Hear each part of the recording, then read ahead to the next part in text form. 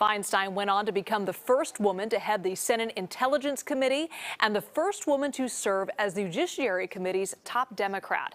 And at one point, she was in the running for one of the biggest spots on the national political stage. Ann Makovec has a look back in time to 1984 in a never before seen KPIX interview with then Mayor Feinstein. Yeah, it was pretty fascinating to go through it. You guys are Kate Kelly interviewed Feinstein ahead of the 1984 Democratic Convention that was being held in San Francisco.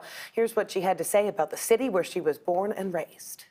Uh, I adore this city. I want it to shine brilliantly.